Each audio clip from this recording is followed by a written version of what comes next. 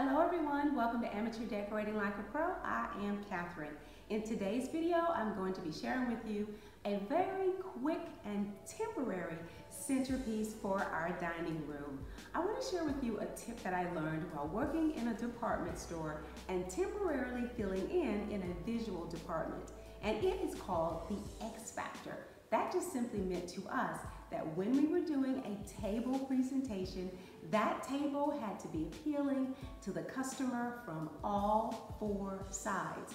And if it was a round table, it had to be a 360 effect. So that's the thing that you want to keep in mind when you're doing a temporary centerpiece or permanent centerpiece on your dining room tables. I'm not doing a tablescape today. You said you wanted short and more frequent videos. Let's just talk about one thing today, giving your tables the X factor. Let's go ahead and go to work.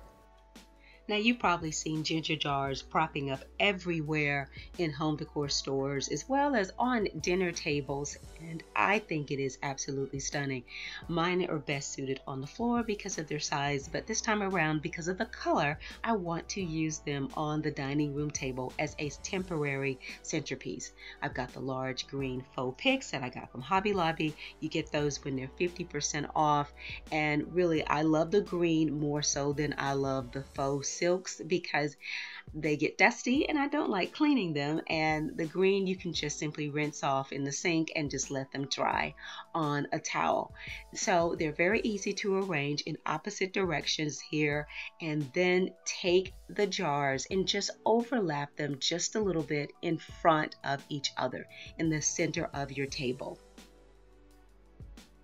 And if you'll notice that overlap creates a diagonal line and then the faux greenery creates the other one and that's where you form the X. Now once I'm satisfied with this arrangement, I take those little round pieces of greenery, they almost look like little tiny shrubs, they really do, and I use those to fill in the openings between the two ginger jars.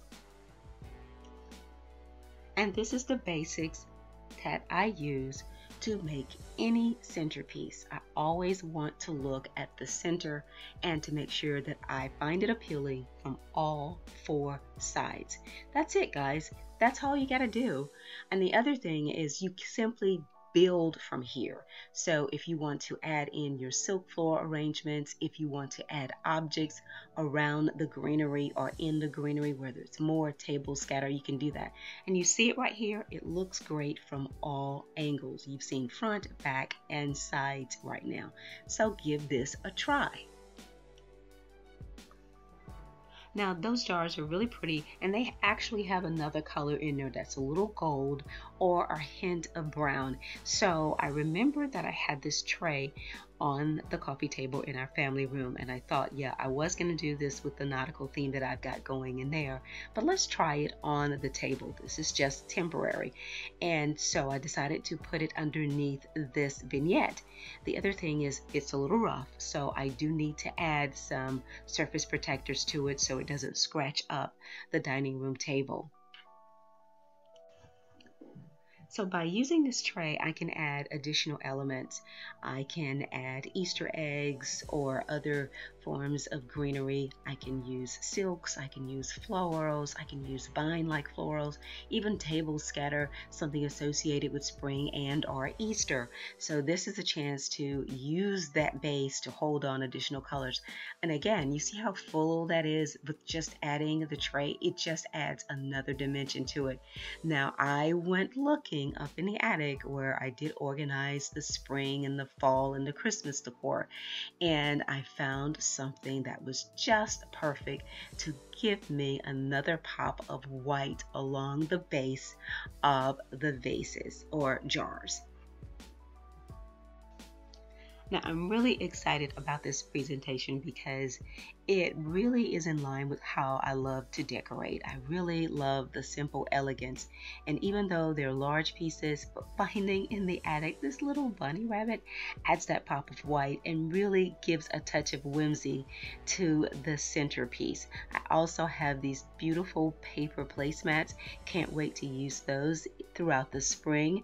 And I'm just ready to go with simplicity this spring and get the blue and white flow on the entire first floor, guys. It's all beachy or traditional blue and white. Now, I know we see these tall centerpieces, and I am smart enough to know that that is not a permanent thing. I know we temporarily stage those things in the interim before a holiday or when guests are coming because they make the table look pretty, and that's okay. Well, that's it for me, guys. I hope you enjoyed this short video. Your wish is my command. 75% said two videos like this, and I'm going to do them. See you again very soon with the very next one. Thanks so much for watching. Now, if you're not a subscriber, please consider doing so today. And remember to turn on your notifications. What does that mean? Press the bell. The little brackets will come around the bell, meaning you will be notified when I have uploaded the very next video. Thanks a lot for watching, and as always, stay in prayer and stay creative.